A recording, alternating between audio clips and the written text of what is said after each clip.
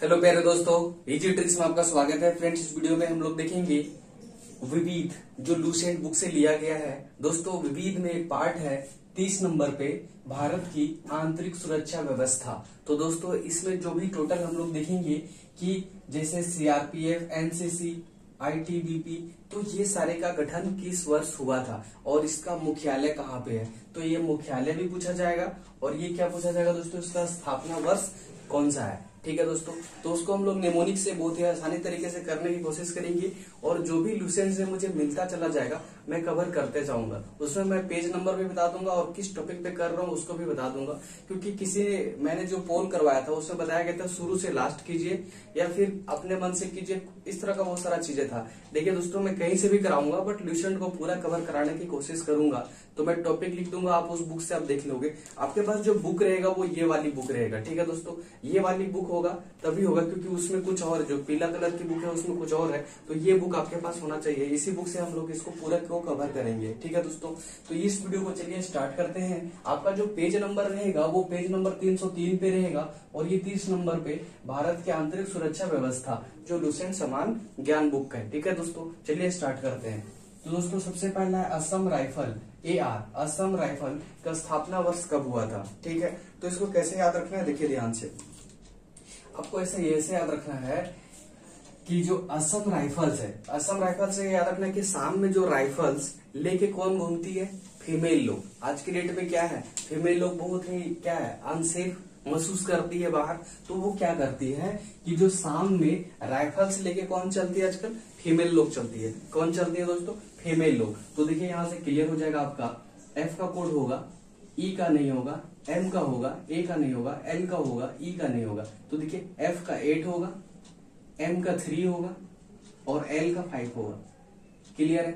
जब तीन डिजिट आता है तो क्या बोला था दोस्तों? सिर्फ़ एक लगाना है। तीन डिजिट आएगा तो एक लगाना है, दो डिजिट आएगा तो उन्नीस लगाना है। क्लियर है? तो मेरे ख्याल से 1835 में इसको गठन किया गया था। और इसका जो मुख्यालय है दोस्तों सीलोंग में है। कहाँ पे है? सीलोंग में। क्लियर है? तो मेरे ख्याल से क्लियर हो गया। इसमें देखिए, सारे न्यू दिल्ली में ही है। सारे कहाँ पे? न्यू दिल्ली में कुछ कुछ जो अलग अलग है, उसको बस सिर्फ़ याद रखना है बस। आपको एक याद रखना है सीलोंग में कौन है? ए आर कौन है A R Assam rifle clear है? अगर आप फ़र्स्ट टाइम विज़िट कर रहे हो, आपको लग रहा है कि ये कोड हमें समझ में नहीं आ रहा है तो देखिए आपके लिए यहाँ पे मैंने कोड लिख दिया है ज़ीरो से नाइन तक कोड लिख दिया है। उसके कोरस्पॉन्डिंग ये जो भी हम लोग लिखते हैं, उसके वो लिखा हुआ है, ठीक है? चलिए अगला देखते पहला हो गया, दूसरा, केंद्रीय रिज़र्व पुलिस फोर्स बल, ठीक है?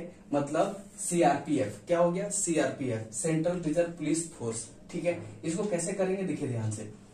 जो केंद्रीय रिज़र्व फोर्स होते हैं, जो रिज़र्व है, देखिए ऑलरेडी यहाँ पे लिख रखा है कि रिज़र्व अगर ये ऑलरेडी क्या है रिज़र्व है तो रिज़र्व रहेंगे तो बस उनको ट्रेनिंग करके रिज़र्व कर दिया गया। अब उनको जब, जहाँ पे ज़रूरत पड़ेगा, वहाँ पे भेज देगा। तो कैसे भेजते हैं लोग? मैप दे देते हैं, बोलते हैं, ये मैप है, लो, चले जाओ। तो उनको मैप दे के क्या करते हैं? भेज देते हैं। तो बस देखिए, ध्यान से आपका यहाँ से क्लियर हो जाएगा। मैप क्या हो जाएगा दोस्तों? मैप एम का कोड होगा ए का नहीं होगा पी का होगा एम का थ्री होगा। और पी का नाइन होगा। जब दो डिजिट आता है तो एक उन्नीस लगा देते हैं। उन्नीस में दोस्तों, केंद्रीय रिज़र्व पुलिस बल सीआरपीएफ का गठन किया गया था और इसका जो मुख्यालय है, न्यू दिल्ली में है। ठीक है? नई दिल्ली। अगला home guards H G home guards कैसे याद रखना है होम गार्ड्स के लिए? कि जो होम गार्ड्स होते हैं, जो होम गार्ड्स होते हैं वो घर पे रोज आते हैं। मतलब डायरेक्टली क्या अर्थ है जो गार्ड्स है, वो होम रोज आते हैं। जो गार्ड्स है, वो होम रोज आते हैं। तो बस रोज से यहाँ क्लियर होगा। आर का कोड होगा ओ का नहीं होगा जे का होगा। आर का दोस्तों फोर होता है और जे का सिक्स होता है। उन्नीस आगे लगा दीजिए।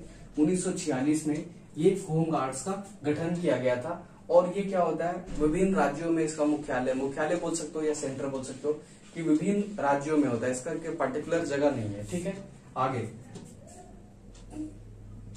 राष्ट्रीय कैडेट कोर, एनसीसी, जो बोलते हो एनसीसी, ठीक है? नेशनल कैडेट कोर, ठीक है? तो देखते हो क्या? कि कोई भी आप अगर पुलिस या फिर जो भी हो, इस तरह का अगर आप कोई भी फॉर्म भरते हो तो वहाँ पे बोला जाता है कि आप एनसीसी किए हो, ठीक है? ऐसा करके। तो अगर आप बोलोगे हाँ तो आपका बहुत सारा छूट किया जाता है, छूट दे दिया जाता है, ठीक है? तो बस आपको कैसे उन लोग चेक करेंगे कि आप एनसीसी हो कि नहीं? आपको रिव्यू किया जाएगा। आप बोलोगे कि नहीं, मैं एनसीसी कैंडिडेट हूँ तो आपको पहले क्या किया जाएगा? रिव्यू किया जाएगा चेक किया जाएगा। तब बताया जाएगा हाँ ये सही है। तो रिव्यू बस याद रखना है रिव्यू आर का बोर्ड होगा ई का नहीं होगा बी का होगा आई का ई का डब्ल्यू का नहीं होगा। आर का फोर होगा बी का एट होगा उन्नीस आगे लगा दीजिए, उन्नीस क्या हो गया दोस्तों? 1948 में राष्ट्रीय कैडेट कोर का गठन किया गया था। और इसका भी दोस्तों, चार नंबर, इसका भी न्यू दिल्ली में इसका मुख्यालय है। अगला, प्रादेशिक सेना, टेरिटोरियल आर्मी टेरिटोरियल आर्मी। कैसे याद रखना देखिए ध्यान से।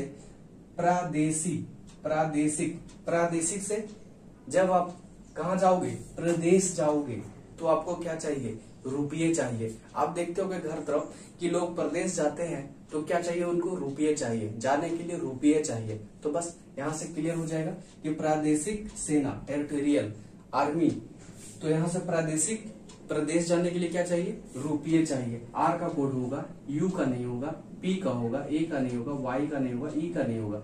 आर का दोस्तों फोर होगा पी का नाइन होगा। उन्नीस आगे लगा दीजिए उन्नीस सौ उनचास में प्रादेशिक सेना टेरिटोरियल आर्मी का गठन किया गया था। जो दोस्तों, विभिन्न राज्यों में ये भी होता है। ठीक है, आगे। भारत, तिब्बत, सीमा police ITBP Indian Indian Tibetan border police ठीक है, कैसे याद रखना है? देखिए ध्यान से। सीमा, भारत के सीमा पुलिस भारत के सीमा पुलिस की तबीयत कब खराब होगी? जून के महीने में। जून में बहुत ज़्यादा गर्मी होगी, तभी तो। तो बस आपको याद रखना है क्या?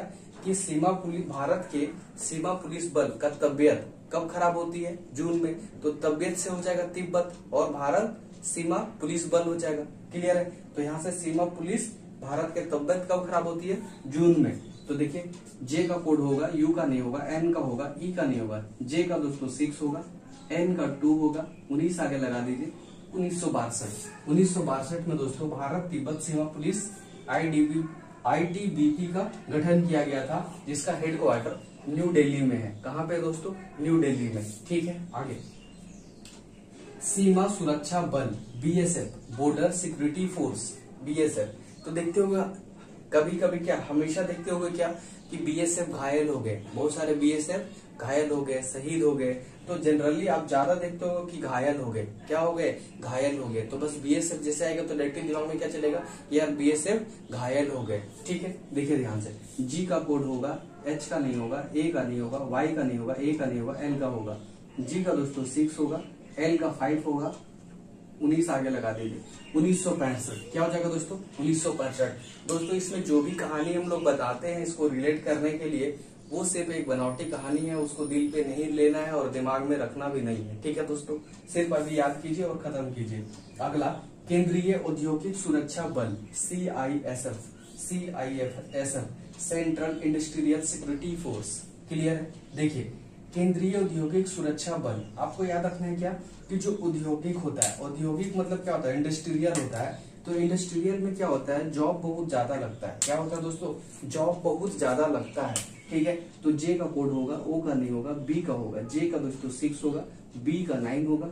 उन्नीस आगे लगा दीजिए उन्नीस सौ उनहत्तर। क्या हो जाएगा? उन्नीस सौ उनहत्तर। इसका भी न्यू दिल्ली में ही है, ठीक है? आगे।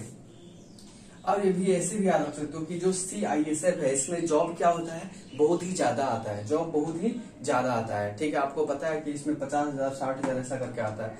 अब तो हालत गंभीर है बट आप ऐसे करके याद कर सकते हो। ठीक है, आगे देखिए ध्यान से। तट रक्षा बल कोस्टल गार्ड्स कोस्टल गार्ड्स वाले लोग क्या करते हैं? वो रहते हैं कोस्टल पास, लेकिन कैसे रहते हैं?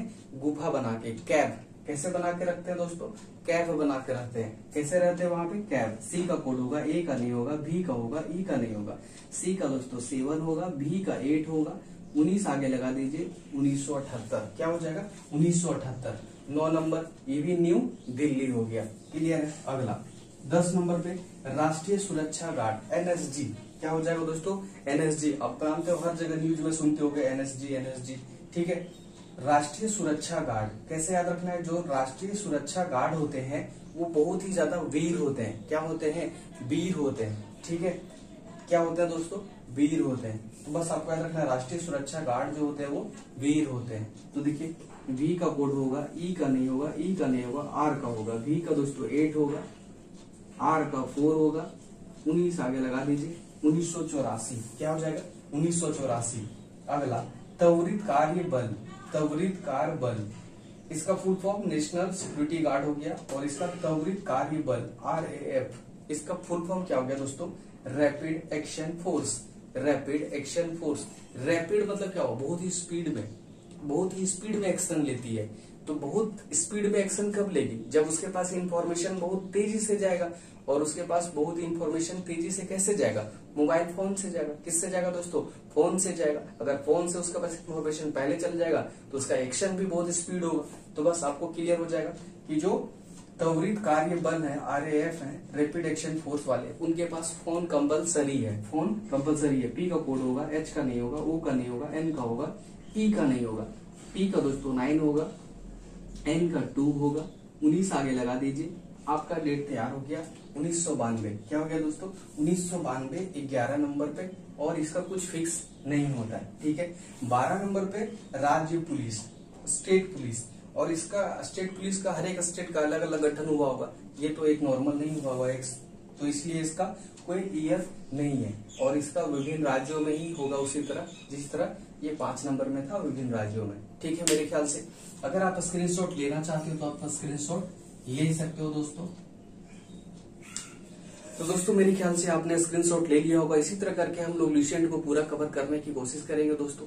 हर जगह पे जहाँ पे ईयर याद करने में प्रॉब्लम होता होगा या फिर वर्ड जो ट्रिक से किया जा सकता है नेमोनिक से किया जा सकता है या फिर उसको रिलेट करके किया जा सकता है स्टेप मेथड से किया जा सकता है, किसी तरह से भी किया जा सकता है जिसको मैं इजी वे में बनाया जा सकता है, उसको मैं कवर करता रहूँगा।